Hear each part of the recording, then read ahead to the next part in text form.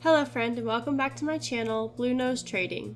My name is Tori Solis and today I'm going to be taking my first shot at making an oval bonsai pot. I've had a lot of requests for oval pots. They seem to be a popular design choice right now, and pretty much since forever.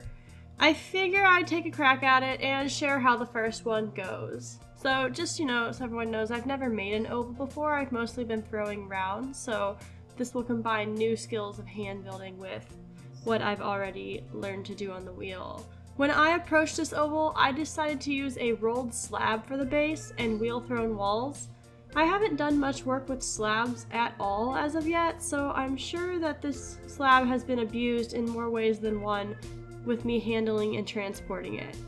I roll my slabs at my friend's studio that's 45 minutes away, and then I keep the slabs in a damp box until I'm ready to work with them.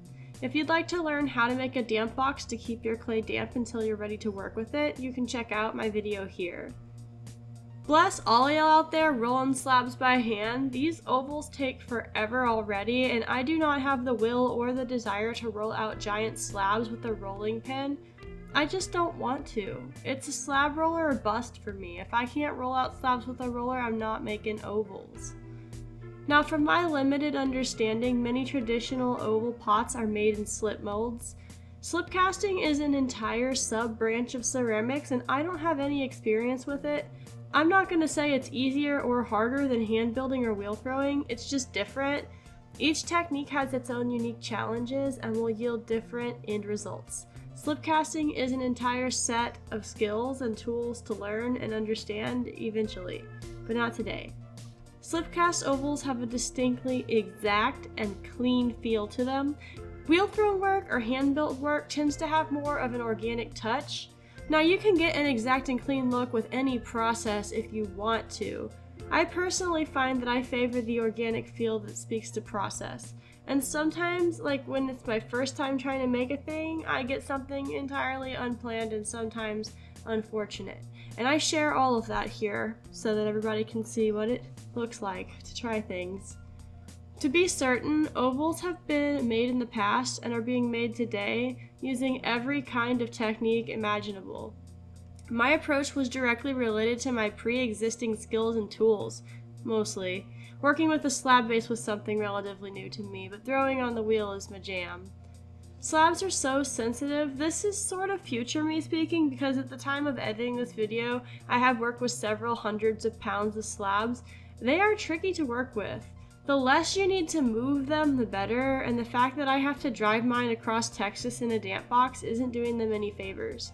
I also need something to put between each slab to help keep them from slumping around the edges. Another tricky part of ovals is flipping them over and generally keeping the wide base from sagging in one direction or the other. I've tried using little clay nuggies and also sponges. Nothing seems to be foolproof or without new problems. If I can manage to get the whole thing together and stabilize, the piece can be wrapped up to dry.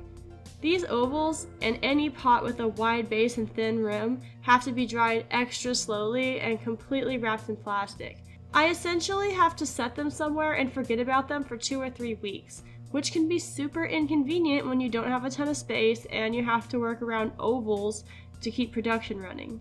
I guess I'm saying I'm not a huge fan up front. They seem like an intense pain to make. Assuming everything dried slow enough not to get a stress crack in the bisque fire, the pot is ready to glaze. I carved a texture into this pot, so I'm going to be glazing it with a simple cream that breaks to rust. This is one of my favorite glazes, although every time I think I understand it, it defies me. I have that on the list of things that I mentally need to mess with until it makes sense.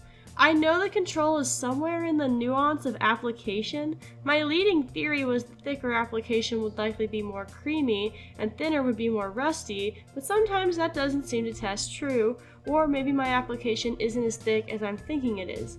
Much, much to consider there.